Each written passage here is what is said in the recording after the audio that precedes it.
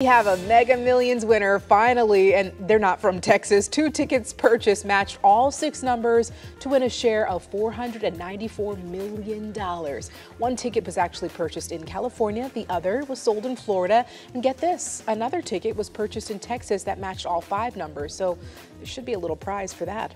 And that is a look at your morning rush.